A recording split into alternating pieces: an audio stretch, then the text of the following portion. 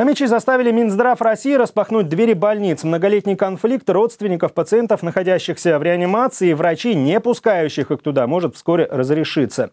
Теперь родные смогут круглосуточно находиться с близкими в отделении интенсивной терапии. Хотя закон формально и так разрешал это, врачи чаще всего запрещали. Этот вопрос подняла амичка Ольга Рыбковская. Ее ребенок 8 дней лежал в реанимации, однако мать к нему не пускали. В 99% из 100 родственников не пускают к тяжелобольным людям в реанимацию. И э, в частности это касается детей.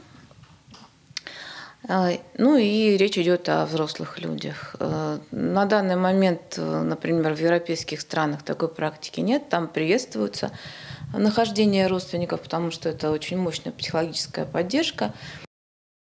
Женщина создала петицию, ее подписали почти 370 тысяч пользователей интернета. В Омском Минздраве сообщили, что уже получили разъяснение из центра.